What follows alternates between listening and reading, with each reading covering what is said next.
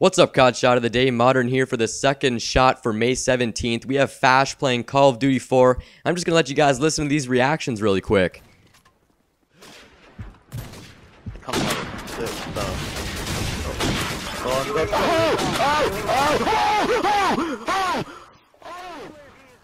An epic quad headshot feed, officially giving him more head than Justin Bieber.